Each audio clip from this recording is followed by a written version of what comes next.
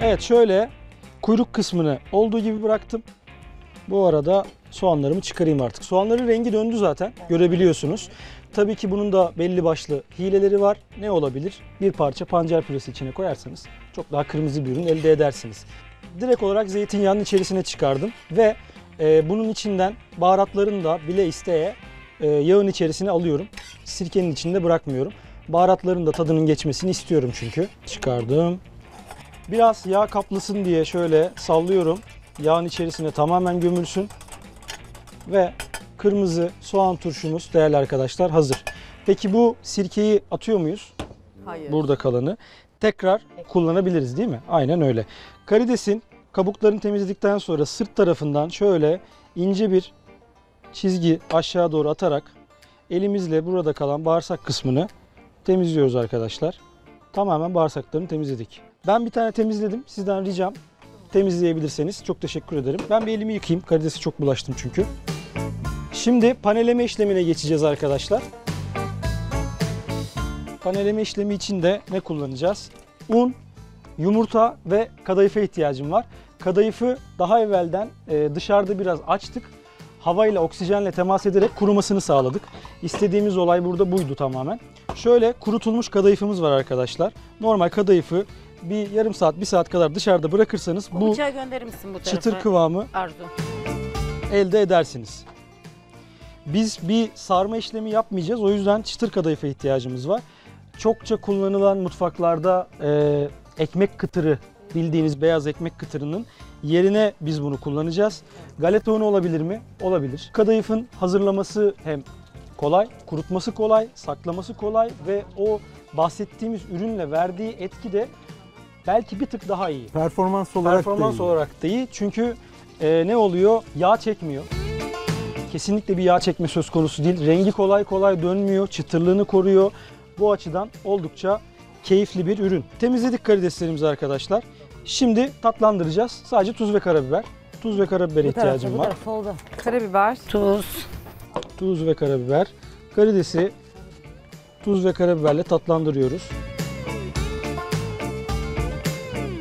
Karabiberi ve tuzu çektik arkadaşlar. Karideslerimizi paneleme işleminde kullanacağımız un, yumurta. Panelemenin sıra- sırası her zaman aynıdır. Önce un, sonra yumurta, sonra da galeta unu, kadayıf vesaire. İki yumurta yeterli olur. Birini verebilirim. Yumurtayı kırdım. Bu paneleme işleminde Tatlandırmayı direkt ana ürüne yapabilirsiniz. Ana üründen ziyade tatlandırmayı yumurtaya veya e, una da karıştırıp tatlandırma işlemini gerçekleştirebilirsiniz. Yumurtayı biraz çırpıyorum. Az evvel aioli'yi yaparken sormadınız ama neden bütün yumurta kullandım? Mayonezli yumurta sarısı kullanmıyor muyuz? Evet. Bütün yumurtayla da yapılıyor ama, siz genellikle emülga- emülgatör özelliğini kullanacağız, bağlayıcı özelliğini Bağlayıcı özelliğini kullanacağız. Bir de yumurta akı bu tarz ürünlerde çok daha kremamsı bir yapı sağlıyor. Kıvam O yüzden- bağlaması için. Kıvam alması için çok daha verimli bir sonuç verdiği için tercih ettiğimiz bütün yumurta oldu. Karidesi ilk önce una güzelce buluyorum. Ardından yumurtaya batırıyorum. Çift kat paneleme yapabiliriz. Yani un yumurta, un yumurta, e, galeta unu veya kadayıf yapabiliriz. Fakat çok kalın bir e, form oluşturuyor. Karides de hacim olarak büyük bir karides olmadığı için arkadaşlar bu kadar kalın bir paneleme karidesin tadının önüne geçer. Gerek yok. Gerek yok. Aynen öyle. Bu kadar kalın bir panelemeye ihtiyacımız yok. Oldukça güzel bir görüntüsü var. Ee, benim tabakta kullanacağım karides sayısı 2. 2 karides kullanacağım.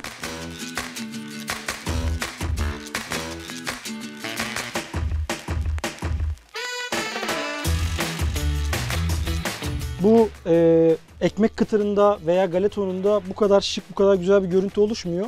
Kadayıfın bir artısı da bu, bu ürünü kullanmakta. Oldukça şık bir görüntü sağlıyor. Piştiği zaman da renginin altın sarılığı bize e, keyifli bir sonuç vermiş oluyor arkadaşlar. Şimdi e, ilk önce karideslerimi pişireceğim. Sonrasında avokado salatasını hazırlayacağım. Karideslerim de o arada dinlenecek. Yağ yavaş yavaş istediğimiz kıvama gelmeye başladı. Bir tane küvetin üzerine peçete koyarsak pişirdiğimiz ürünleri de onun üzerine çıkarabiliriz. Bizim bir de hazırlayacağımız avokado salatamız var. Onun içinde avokado, salatalık, Be, çili biber bugün ve e, biraz frank soğanı vardı. Frank soğanına ihtiyacım olacak arkadaşlar. Yağım kızmaya başladı. Yavaşça bırakıyorum. Yağın kızgınlık seviyesi istediğim gibi gördüğünüz gibi. Kızartma yaptığınız ürünlerde değerli arkadaşlar yağın ısısını çok çabuk kaybetmemek için ürünleri yekpare şekilde eklerseniz daha uygun olur.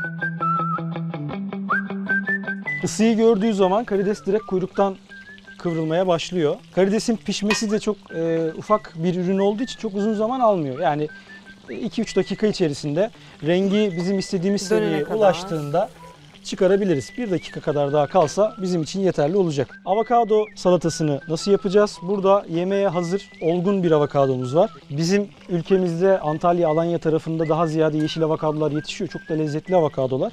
Bunlar daha yemeğe hazır. Kabuğu daha koyu renkli olan avokadolar. Yağ oranı, lif oranı daha düşük ve oldukça lezzetli. Şöyle görüyorsunuz. Karidesin rengi döndü kuyruktan. İstediğimiz renk seviyesine ulaştı. Evet çıkardım. Karideslerim hazır. Ee, avokado salatasını hazırlamaya başlayacağız. Bir mayonez tenceresine ihtiyacım var. Bunun için şurada vardı. Gayet iyi. Avokadonun çekirdeğini çıkarmak için arkadaşlar şöyle etrafından bir bıçakla dönüyorum. Eğer ki avokado şöyle güzel, gayet renk olarak da iyi. Çekirdeğini çıkarmak için yaptığımız hamle bu. Eğer ki avokado istediğimiz kadar olgunsa şöyle parmağınızla bile rahatlıkla kabuğunu alabilirsiniz. Yoksa bir kaşığa ihtiyacınız olacaktır. Biz zaten avokadoyu ezeceğimiz için çok böyle e, üzerine zarar versek de bir sorun teşkil etmeyecek. O yüzden bıçak vurmadan elimle yavaşça Şey önemli değil ya Aldım. soyması da. bunu da aldım. Biraz zeytinyağı ekliyorum. Yine karabiber ve tuzla tatlandıracağım.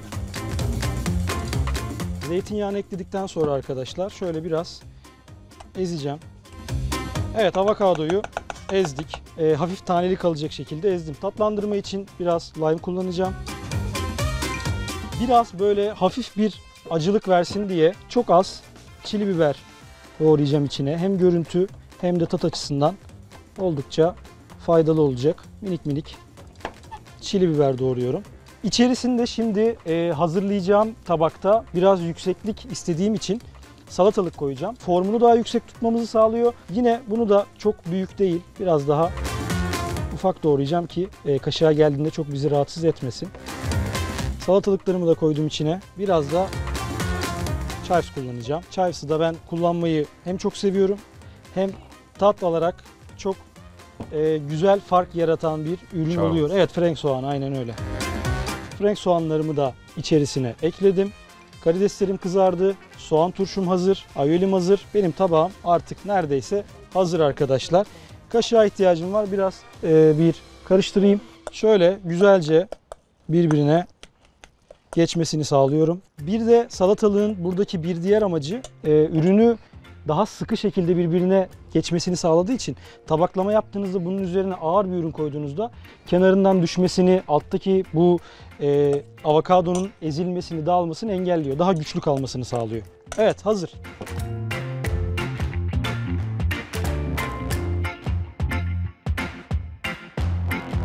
Yuvarlak formda çalıştığımız zaman tabaklama yaparken prezentasyon esnasında e, ne kadar tabii ki çok abartı olmayacak şekilde yüksek bir tabaklama yaparsak görüntüde o kadar şık oluyor.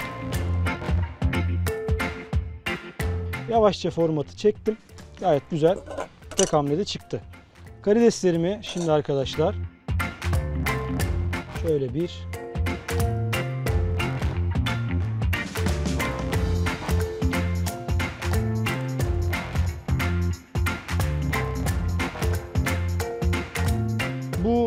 hazırladığımız yağ hem soğanın hem diğer ürünlerin aromasını çektiği için lezzetli bir hal aldı. Bunu böyle tabağın kenarına doğru biraz gezdiriyorum. Şöyle frank soğanını da attık Ya çok ve güzel tabağımız hazır. Çok hoş. Gördüğünüz gibi ben teşekkür ederim.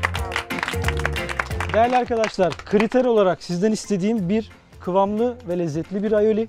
iki çıtırlığını kaybetmemiş bir soğan turşusu.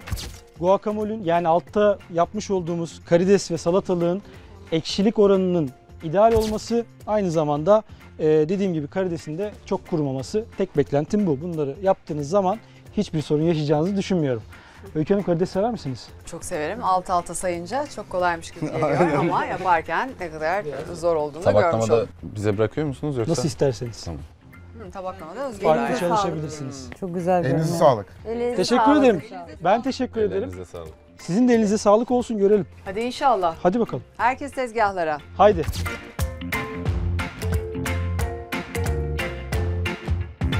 Daha fazla video izlemek için kanalımıza abone olabilir. İlk izleyen olmak isterseniz bildirimleri açabilirsiniz.